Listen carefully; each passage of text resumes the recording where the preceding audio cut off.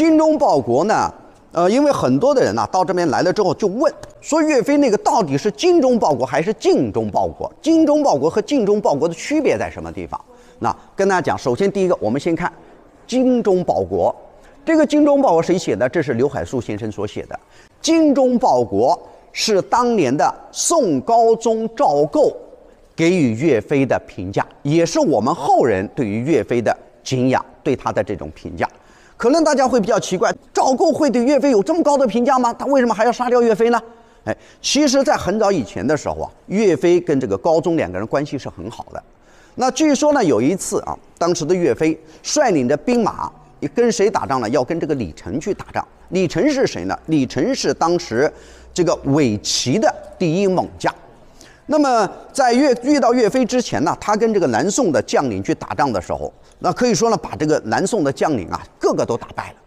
所以当时的皇帝啊，很担心啊。那么这一天呢，这个皇帝呢就约就见到了这个岳飞，就跟岳飞去讲，说有如果说有一天你碰到李成的话，你不要去力敌他，就担心他打不过。啊，那因为呢，岳飞的这个兵马呀，可以说在当时南宋时期几乎算得上是最高战斗力了。如果他被打败了，那么一旦他们趁势南下，那就完蛋了，啊，所以就跟他，你不要立敌，你到那边如果碰到李成的时候，你可以招降李成。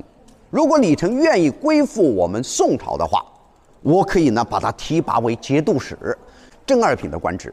当时的岳飞还不是节度使。所以呢，当时呢，他是担心岳飞呢打不过李成。过了没多久，岳飞就碰到了李成，两个人两军对战。当时的朝廷非常的担心，担心岳飞打败仗。但没想到呢，岳飞两军对战的时候啊，啊，根本一点不用担心，因为呢，直接把这个李成呢，不是打的大败，而是把李成的部队打的是全军覆没。只有李成一个人啊，凭借着个人勇武冲出了重围。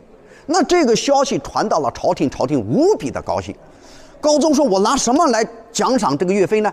岳飞一不爱钱，二不爱官，所以他就想到，哎，写了四个字，拿着笔叫‘精忠岳飞’。所以我们经常看到，是不是有一个旗子叫‘精忠岳飞’？写完了之后呢，让当时的皇后亲自拿着什么针线，把它缝绣成了一个战旗，赐给了岳飞。那岳飞拿到这个战旗多开心啊，比他连升五级也高兴啊！所以每一次他征战沙场。”都把这个战旗树立在岳家军的最前方，用来鼓舞和感召岳家军更加的奋勇杀敌。所以呢，精忠报国就是这么来的。而尽忠报国是怎么回事呢？我们来看这旁边，这就是尽忠报国。这个尽忠报国才是岳飞背后所赐的四个大字。当年的这个岳飞啊，他一生呢曾经四次从军。二十岁的时候，第一次从军去攻打这个辽国，但是到那边去呢，没有跟辽国打起来。一年不到的时候，家里传来了噩耗，他的父亲去世了。父亲去世了之后呢，要为自己的父亲去守孝。其实岳飞家里呢非常的穷，作为长子呢就要挑起家庭责任的重担。家里又很穷那，怎么办呢？他没有再去当兵了。那么在家里，第一，他母亲就在当地的村里面啊，就是找了一个财主，据说就是王贵他们家做什么临时工啊，做佣人。然后他的老婆叫做刘氏，当时已经生了两个孩子，一个呢叫做岳云，一个叫做岳雷。刘氏在家里呢就种几亩薄田，而岳飞自己呢就出去打工，就跟我现在我我老家不是这里的，我是出来打工的，那出去打工。那么当时打工呢到哪里呢？找了一个姓韩的人家，就是韩琦的后代，是北宋的名相韩琦的后代，他们也是大户家庭，就是做了一个庄客，同时因为他武艺高强。他就兼任了韩家的这个保安队长。那么那个时候，整个黄河两岸已经是民不聊生了，老百姓想要活下去，三五成群，几个人在一起成为盗匪，大家去抢劫，抢谁呢？那肯定不能抢穷人，穷人没东西抢，抢的肯定是富人。所以呢，当时他们就来到了韩家。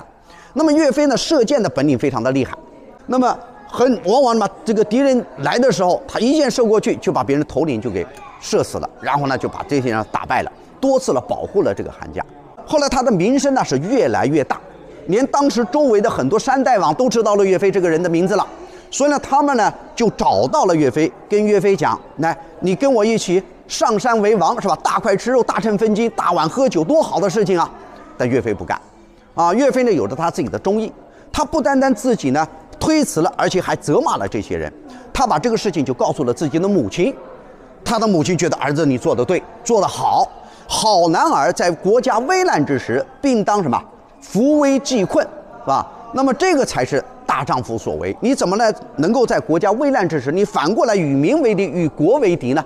所以呢，当时呢，他就让自己的儿子脱掉自己的上衣，给他赐下了尽忠报国。那么这个尽忠报国是让他尽心竭力的报效国家，尽心竭力的保护百姓。